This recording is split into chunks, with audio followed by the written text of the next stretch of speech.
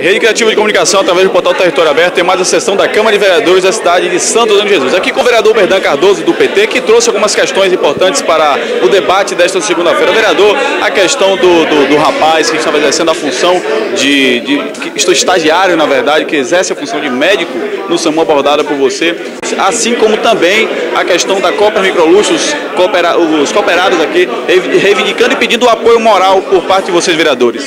Bem, são três pontos a tratar, né? Em relação ao Copa Microluxo, é um problema, eu diria, interna corporis. É um problema da cooperativa. Então, a Câmara ela não tem a autoridade de versar sobre um assunto interno da Copa Microluxo. Agora, quando a Copa Microluxo, que ganha um edital, né, ganha licitação, que tem que respeitar o edital, dizendo que precisa prestar à nossa sociedade um serviço público de transporte coletivo de qualidade, aí a nossa função é fiscalizar, porque se ela faltar com isso, aí já é um problema da Câmara, do vereador.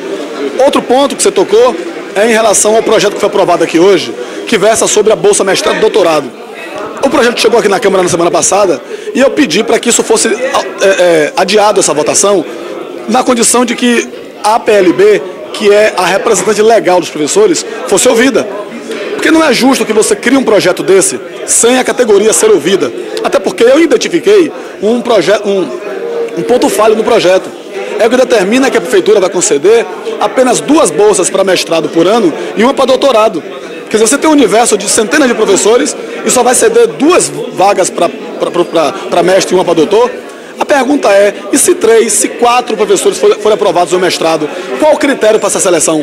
Isso não foi discutido. E isso passou um rolo com o pessoal aqui na Câmara que foi aprovado. E em função disso, o, senhor, o Vossa Excelência preferia, prefere, na verdade, na sua posição, que o debate fosse adiado por conta de que rediscutisse esse projeto? Claro, até porque hoje às 15 horas tem uma reunião da PLB com o procurador do município.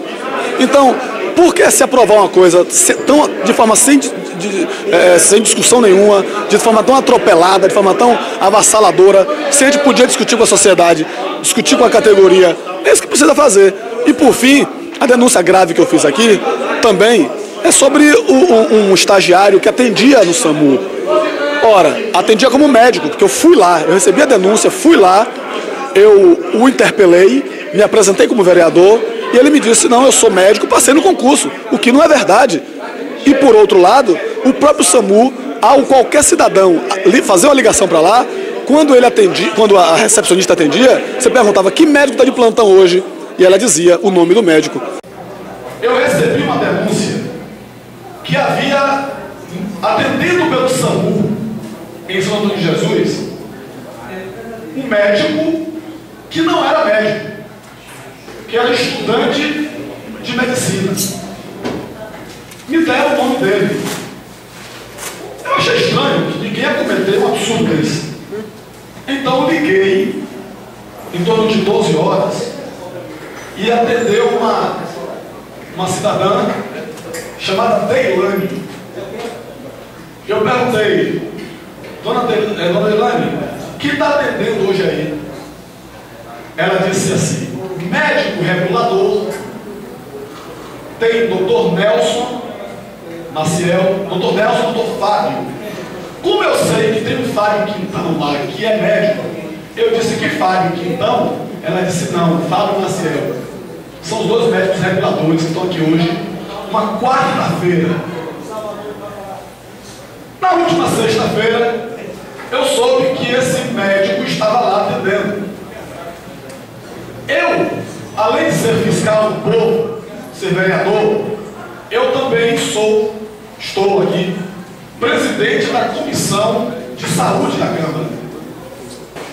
E revertido dessa autoridade, primeiro, liguei para o SAMU, me atendeu uma, uma cidadã, que dessa vez não perguntei o nome, e disse, que médicos estão atendendo hoje aí?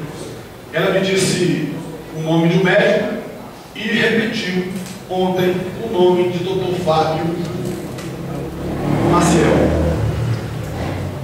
Liguei para uma pessoa da imprensa e disse: ligue para o SAMU e cheque essa informação. A não dizer que sou eu estou dizendo. E a pessoa fez isso, ligou e a informação do SAMU era que o médico, os dois médicos reguladores que estavam lá, era exatamente Dr. Fábio Macedo.